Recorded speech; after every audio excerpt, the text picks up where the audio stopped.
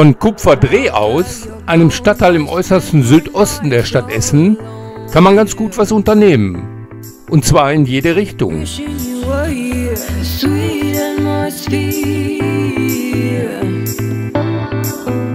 Sei es eine Tour durchs Deilbachtal, rund um den Baldeneysee oder entlang der Ruhr, und zwar Ruhr abwärts, wie in diesem Fall.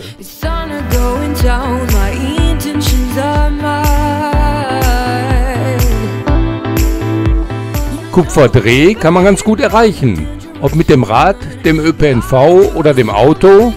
Und kostenlose Parkplätze gibt es in Kupferdreh auch reichlich.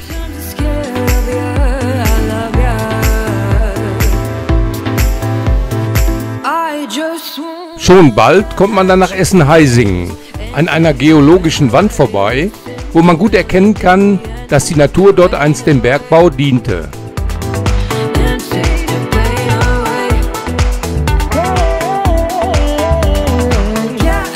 Weiter geht's im Naturschutzgebiet Heisinger Ruhraue, bevor es dann irgendwann rechts abgeht in Richtung Fährhaus Rote Mühle.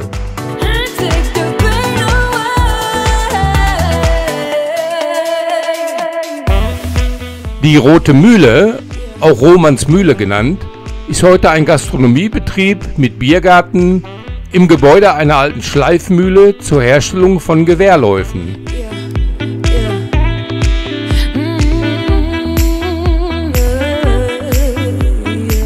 Auf dem Rückweg nach Kupferdreh ging es dann über die Ruhrbrücke am alten Bahnhof vorbei, der heute auch gastronomisch genutzt wird, auch mit Biergarten.